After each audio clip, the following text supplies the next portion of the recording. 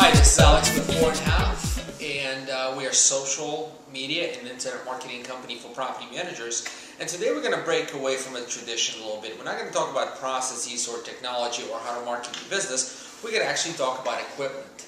Um, I wanted to just kind of take a look at this uh, um, Samsung Chromebook. Um, this is a, a, a computer that, that retails for $249. Okay, and I want to basically compare it to the iPad or your regular PC and see how useful this can be for property managers. In other words, if you equip every one of your property managers with a book like this, um, you know, do you you expect results? Would this work for your business? Well, um, let's first take a look at the actual uh, piece of equipment and see what it represents. So it's a little tiny little computer. It's really lightweight, and the screen size is about I don't know 11 inches or so. Now, the beauty of the computer is that it's instant on, right? It doesn't have uh, the spinning hard drive. It's a solid state hard drive. Now, it has about 6 gigabytes built in and about 100 gigabytes of free online Google storage, which is pretty incredible. Um, now, when you open this computer, it, it, boots up right away. So the page it will take you was the last page you were in. Just to kind of give you a quick walk around, uh, what you see on the screen is right now you're looking at my Google Docs. But essentially, this one, uh, there's a button here that leads you to Google applications. You can install any kinds of applications that you can, um, most of them on your Android phone. So um, if you use Google email and Google Documents in your company, this will be extremely useful. But the basic premise of this computer is the operating system is a web-based operating system. So any web-based software or any web-based tools should run on this no problem. Now, one of the biggest advantages I see is the battery life, right? This has about seven and a half hours or so of standby time and work time combined. So, um, in terms of ports and what you can plug in in this thing, so there are a couple, there's HDMI port, there's a couple USB ports in here, and a headphone jack, right? Not a lot. It works on the Wi-Fi. So as long as you have Wi-Fi available, you can do work on this computer. Now let's take a look at and, and, and ask us uh, the basic question.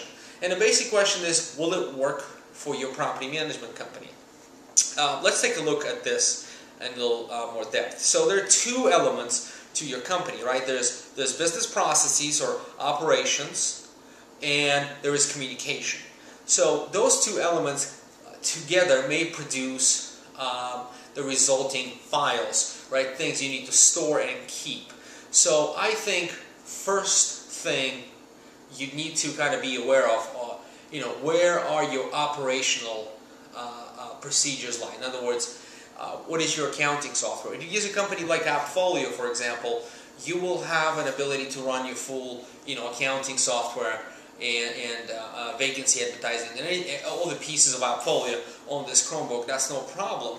Now, if your communication is Gmail and you're in and you're using Google Apps, uh, within your company, you will also be able to communicate the Google Hangouts, emails, and have cloud documents through this uh, through this book. Now, in terms of files, that's a little bit different. So, once you have files, so for example, if you complete an inspection, you want to have a PDF file uh, stored on your computer.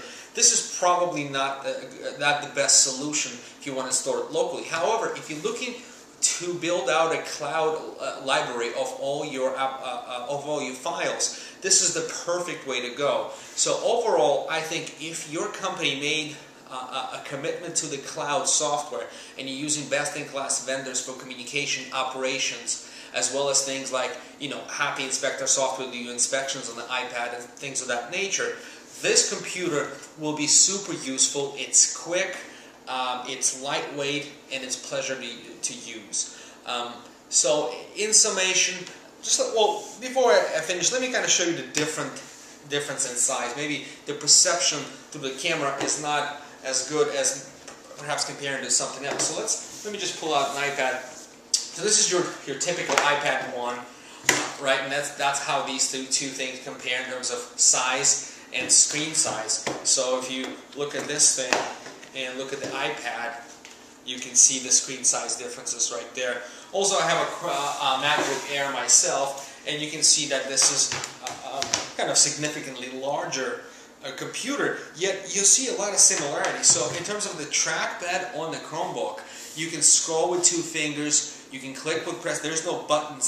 So I think the trackpad and the usability uh, is, is vastly improved over the Windows, you know, your regular Windows PC, which is, you know, you have to do a lot of scrolling and things of that nature. Now, it took a lot of, um, the, the look of the keyboard is similar, however, you know, you're looking at $249 piece and a $2,000 piece, so the quality is quite evident uh, once you touch it. However, I think for the price, Chromebook is a steal. However, if you still run uh, a Promas or any other software that is uh, on-premise, that is desktop software, uh, this wouldn't be a, a, solution for you at this point. Again, uh, thank you kindly for your time. If you have any questions, give us a call. Until next time, this is Alex with Habit.